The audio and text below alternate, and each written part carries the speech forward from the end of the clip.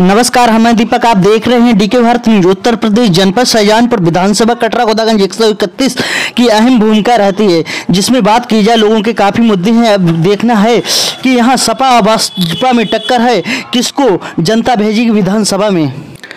कटरा विधानसभा की बात की जाए, यहाँ मतदाताओं की संख्या इस प्रकार है। पुरुषों की बात की जाए, एक लाख चौरासी हज़ार पाँच सौ बहत्तर।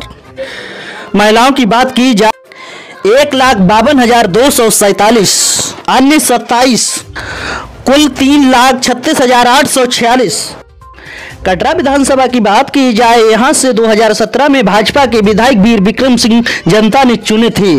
और 2012 की बात की जाए, राजेश यादव को सपा से विधायक पद के लिए चुना था।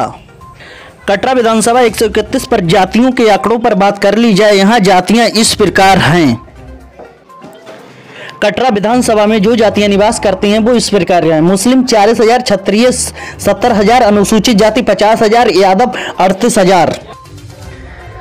कश्यप पैंतीस हज़ार, लोध चौबीस हज़ार, ब्राह्मण पंद्रह हज़ार, गुजर चौदह हज़ार, बस दस हज़ार, आंकड़ों के मुताबिक। प्रमुख मुद्दे इस प्रकार हैं। नंबर एक, तिलहर से जैतीपुर दातागंज मार्ग सड़क निर्माण। नंबर दो, छुट्टा आवारा पशु। नंबर तीन, गड़िया रंगीन में विद्युत केंद्र। नंबर चार, खुदागंज में बोंडी घाट पर पुल का निर्माण जो भीसलपुर सीमा को जोड़ता है।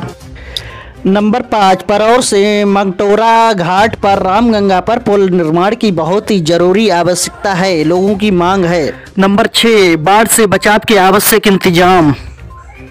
कटरा खुदागंज विधानसभा 131 की क्षेत्र की बात की जाए तो खुदागंज से बुधहाना, कटरा और गड़िया रंगीन परोर तक लगता है और बहगुल और रामगंगा नदी से ये घिरा हुआ इलाका है जहाँ बाढ़ का खतरा बना रहता है। ऐसी जानकारी के लिए एक आपका सब्सक्राइब तो बनता ही है।